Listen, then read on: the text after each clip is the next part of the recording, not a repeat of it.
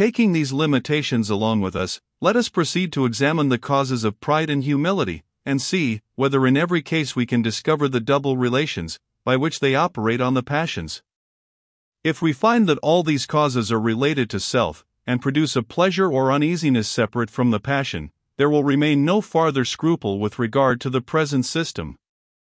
We shall principally endeavor to prove the latter point, the former being in a manner self evident.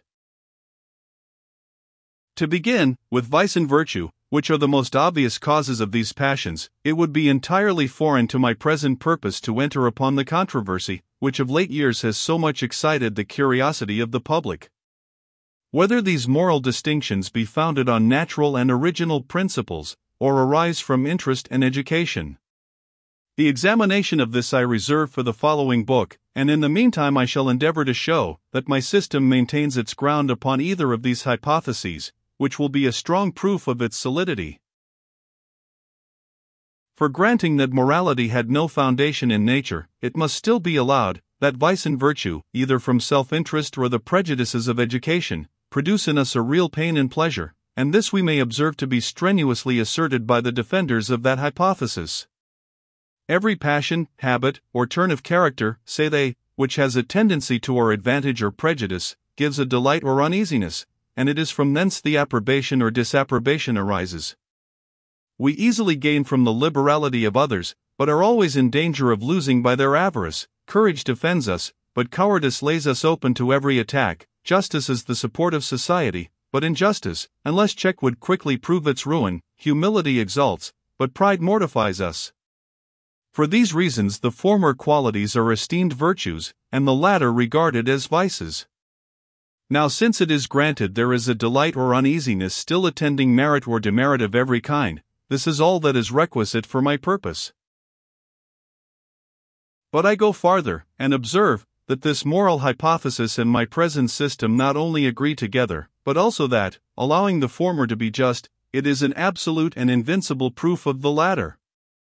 For if all morality be founded on the pain or pleasure, which arises from the prospect of any loss or advantage, that may result from our own characters, or from those of others, all the effects of morality must be derived from the same pain or pleasure, and among the rest, the passions of pride and humility. The very essence of virtue, according to this hypothesis, is to produce pleasure and that of vice to give pain. The virtue and vice must be part of our character in order to excite pride or humility. What farther proof can we desire for the double relation of impressions and ideas?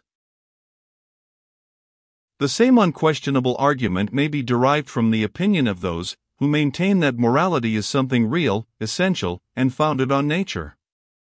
The most probable hypothesis, which has been advanced to explain the distinction betwixt vice and virtue, and the origin of moral rights and obligations, is that from a primary constitution of nature certain characters and passions, by the very view and contemplation, produce a pain, and others in like manner excite a pleasure. The uneasiness and satisfaction are not only inseparable from vice and virtue, but constitute their very nature and essence. To approve of a character is to feel an original delight upon its appearance. To disapprove of it is to be sensible of an uneasiness. The pain and pleasure, therefore, being the primary causes of vice and virtue, must also be the causes of all their effects, and consequently of pride and humility, which are the unavoidable attendants of that distinction.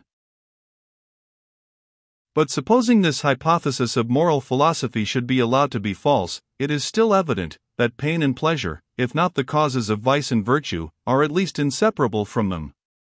A generous and noble character affords a satisfaction even in the survey, and when presented to us, though only in a poem or fable, never fails to charm and delight us.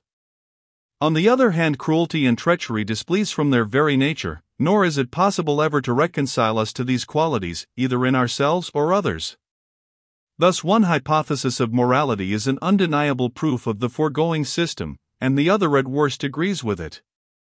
But pride and humility arise not from these qualities alone of the mind, which, according to the vulgar systems of ethics, have been comprehended as parts of moral duty, but from any other that has a connection with pleasure and uneasiness. Nothing flatters our vanity more than the talent of pleasing by our wit, good humor, or any other accomplishment, and nothing gives us a more sensible mortification than a disappointment in any attempt of that nature. No one has ever been able to tell what wit is, and to shew why such a system of thought must be received under that denomination, and such another rejected. It is only by taste we can decide concerning it, nor are we possessed of any other standard, upon which we can form a judgment of this kind. Now, what is this taste, from which true and false wit in a manner receive their being, and without which no thought can have a title to either of these denominations? It is plainly nothing but a sensation of pleasure from true wit, and of uneasiness from false, without our being able to tell the reasons of that pleasure or uneasiness. The power of bestowing these opposite sensations is, therefore, the very essence of true and false wit, and consequently the cause of that pride or humility which arises from them.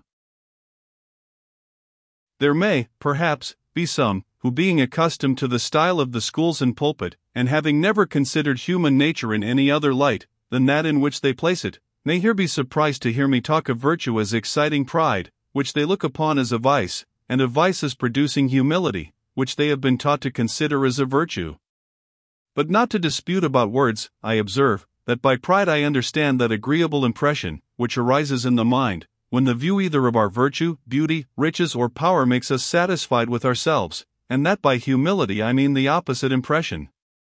It is evident the former impression is not always vicious, nor the latter virtuous. The most rigid morality allows us to receive a pleasure from reflecting on a generous action, and it is by none esteemed a virtue to feel any fruitless remorses upon the thoughts of past villainy and baseness. Let us, therefore, examine these impressions, considered in themselves, and inquire into their causes, whether placed on the mind or body, without troubling ourselves at present with that merit or blame which may attend them.